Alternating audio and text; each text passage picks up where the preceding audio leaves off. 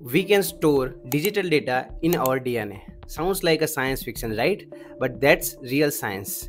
DNA can store massive amount of data in an ultra small space. In fact, 1 gram of DNA can hold up 215 petabytes of data.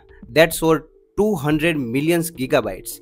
That's like fitting all the YouTube data into a tablespoon of DNA.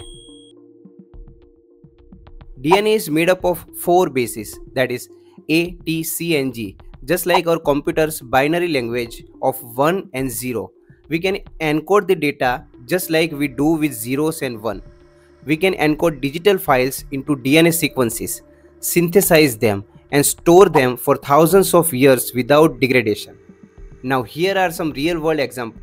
In 2012, Harvard scientists encoded a book into DNA and in 2021, Microsoft and the University of Washington created the first DNA storage system that could write and read data automatically. However, it is not replacing your hard drive right now, but DNA may be the future of cold, ultra dense, and eco friendly data storage. I'm Tushar from Genetic Education, and if you like such interesting information, hit subscribe or follow button.